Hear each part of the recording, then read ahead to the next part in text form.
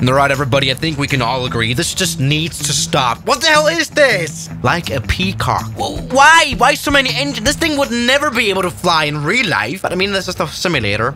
But what is this? Yes, everybody, my friends of totally original content. I have no video ideas anymore, so it's time to, you know, just reuse other videos that already exist on the internet, everybody. The YouTube account of Lee EI Airlines. It has been posting every single day about their creations in the X-Plane Flight Simulator. You know you have the plane maker there with which you can experiment a lot. We've done that before.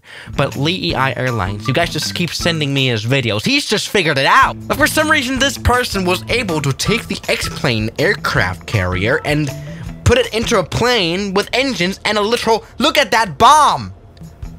That is great, and there's another plane. How? Where is this? What is this? Surprise Dreamly. And this guy is Chinese, I would guess. Right, what is this? We've. How did he manage to do this? Like a ramp on an aircraft carrier. That is just crazy. And this is a flying wing aircraft. Vertical takeoff lost in engine simulation. Right, okay, this is nice. Now we've got a VTOL 737. There, oh no, the whole wing has fallen off. All right, that is that is actually an interesting simulation.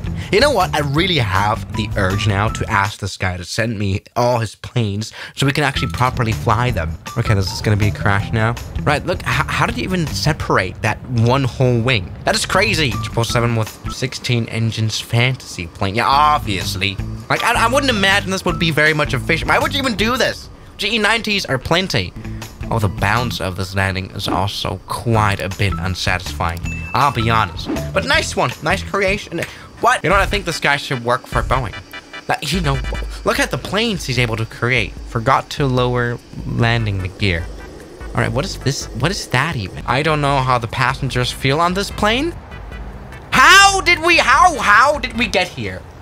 You know, this flight simulator came out five years ago, the X-Plane Flight Simulator. Would they have ever imagined that you would be able to build this kind of airport? Like, it's not even crazy planes that he's building, it's also crazy airports. Now, building this would probably not be very efficient. Um, also, is this, what is this? This is a, a, a triple seven with a delta wing? Kind of Concordes? Why? All right, so he's built a bridge runway, literally a runway on a bridge. I want that, by the way, and this is just a normal Concorde, a very hard landing. Concorde landed on a bridge. Good. What is this? I want this airport. You know, I'm honest, I think this guy should sell his add-ons right here. We've got a Sky Airports, a flying aircraft carrier, but not only one, we've got a few thousand stuck together. It's not really working very well. I, okay, you know, this is a 737. Ryanair flies this plane. No problem at all. Good one. Why, why are all his videos vertical, by the way? That is kind of annoying me. What is it? 200? What is that? I like how it says here simulated flight. As in, okay, oh, oh yeah, the 777X. This is a real plane, right? Oh, oh is, are those 200 engines working? That's like the scary part. Oh, they do kind of appear to be. Or maybe, you know, like this plane is absolutely overpowered. Also, I like how the reverse thrust works on every... And that could be a concept for short runways. What the hell? Cargo counterweight problem. Vertical takeoff failed. Now, what is this kind of mating situation? We've got a VTOL takeoff. We've got those weird wings that... Okay, they do kind of would probably serve a purpose for making this plane actually fly straight. And that's it. I don't see a problem at all here. This is totally professional. Good one. Mm -hmm. Okay. You know who needs this landing gear? Ryan, you know, uh, quite obvious. All right, there we go. That's kind of working. I like how the nose landing gear is actually responding to inputs. That is so ridiculous. Like, it is properly, this is a properly working plane. That's like the worst part, right? Good. Been fiddling a lot with landing gears, apparently. If the tire easy to burst.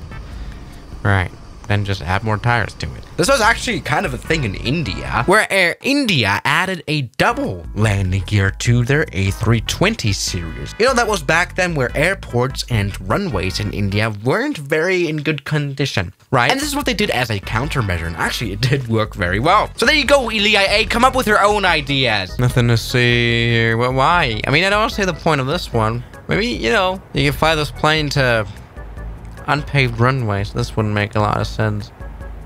Here we go. Take off. Come on. Yeah. Oh, it's not working. It's dead. Well, it's got some big wheels, though, to support it. I'm pretty sure it's going to survive that. No problem at all.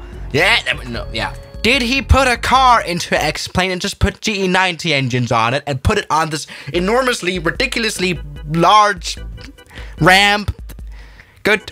All right, we've got a truck now coming up here. There you go, full power. Looking good. Nothing to see here.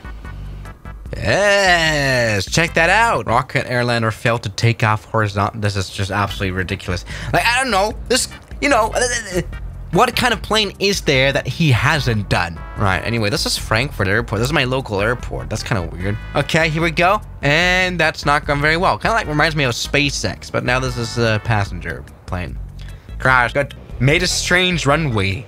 No, I want this. How did he even, how did he even do this? Probably in Blender, actually, um, you know, 3D modeled this. There's like no way your plane's gonna be properly able to take off right here. You're only given half power because you cannot pull here with full power. This is nice to see anyway. Tree. Yeah, yeah. Oh, dead. That's absolutely stupid. All right. You know, the English has really on point here. The runway may have been drunk by the modeler. All right.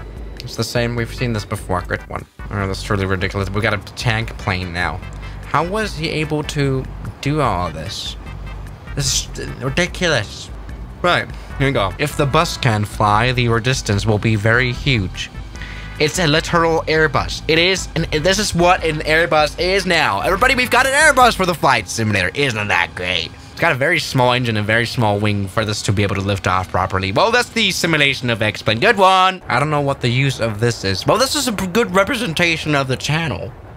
We've got a we've got a snowplow kind of design. I mean, why not? After opening the speed brakes, the captain was complained again. Ah! That is a that is a proper speed brake right there. I do not hate this at all. I guess this will be a fast stopper. Why? What is that? All right, I've got another Airbus idea. You know what? This this channel really isn't that stupid after all, right? Those are some proper concepts. This is very respectable of a channel. I do have to say, LEI Airlines, not bad at all. I don't hate this. Absolutely fine. Nothing to see here. Yes. So yes, everybody, that has been LEI Airlines and probably the most unoriginal video I've ever done, but he just posts too many stuffs, right? Right, almost 400 videos of weird creations. Great, so yeah, guys, thank you so much for watching today's video, and I'll see you guys tomorrow. As always, good night.